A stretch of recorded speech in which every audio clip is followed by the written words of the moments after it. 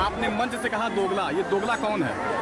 जो पिछड़ों को दलितों को हिस्सा नहीं दे रहा है जो इनका हिस्सा लूट रहा है वही लोग धोखेबाज है वही दोगला है। तो कौन है? ये जो सरकार चलाने वाले लोग हैं जो तक सरकार चलाई इनको हिस्सा क्यों नहीं दिए? इनके बेटा सिपाही दरोगा बाबू चपरासी क्यों नहीं बनाया? इनको शिक्षा क्यों नहीं दिया? यही लोग हैं। यही लोग जिम्मेदार हैं दूसरा कोई नहीं है। आपने बीजेपी का सर गरम करने के लिए धमकी दिया है। ऐसे बीजेपी के नेता अगर हिस्सा लूटने के लिए आएँगे तो कलम किया जाएगा। आप भी हथियार उठा बिल्कुल मैं उठा लूँगा। यहाँ कोई दिक्कत नहीं है। यहाँ के जनता को उकसा रहे हैं कि हथियार उठा लो। बिल्कुल उठाएँगे। दुआ डाई होगा करो या मरो हिस्सा चाहिए।